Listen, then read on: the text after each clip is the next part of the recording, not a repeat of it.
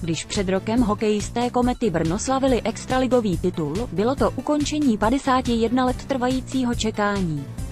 Velkou zásluhu na všem měl majitel a trenér mužstva Libor Zábranský, který se před startem semifinále vůbec netají tím, že by mistrovské oslavy chtěl v příštích týdnech zažít znovu.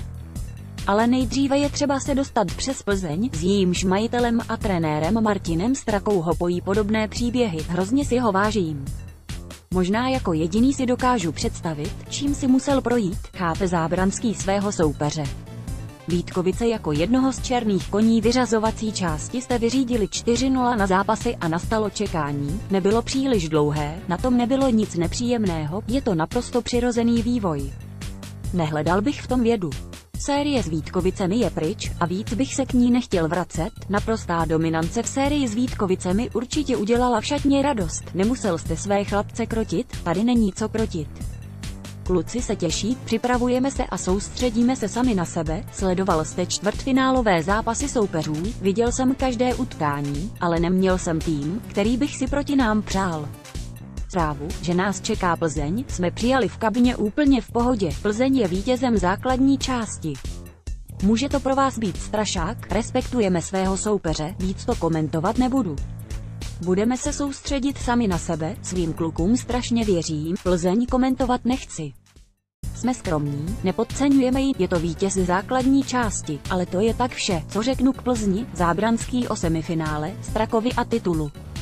Martina si obrovsky vážím, mým klukům věřím, mluvil jste už s Martinem Strakou, Martina si hrozně vážím, ale že bychom si před sérií volali s trenéry nebo majiteli klubu, to v žádném případě pojí vás podobné příběhy. Bude pro vás série o to speciální, Martin má za sebou úžasnou hráčskou kariéru, jako možná jediný si dokážu představit, čím si jako stoprocentní vlastník musel projít. Musí zajišťovat financování, hráče, teď je na střídačce. Vím, jak je to náročný, a proto říkám, že si ho vážím. Cítíte, že vy a Martin Straka ukazujete, že spojení majitel a trenér může fungovat. Logiku to samozřejmě dává. Nejdůležitější je vždycky spojení generální manažer a hlavní trenér tak, aby když se skládá tým, aby trenér neviděl hráče nějak jinak, pak to samozřejmě nemůže fungovat. V tom je to výhoda, že si sám hráče vyberete na posty a věříte jim. Tom vidím výhodu, v základní části jste s Plzní měli vyrovnanou bilanci dvou výher a dvou porážek. Může to něco říci o blížících se utkáních? Ne, playoff je úplně jiná soutěž. Každá vyřazovací část je úplně jiná. Minulou sezónu jste korunovali ziskem titulu, je to závazek ji zopakovat, jako kometa působíme už delší dobu. Region je na nás hrdý a samozřejmě cítíme obrovský závazek vůči všem fanouškům, celému regionu, partnerům klubu.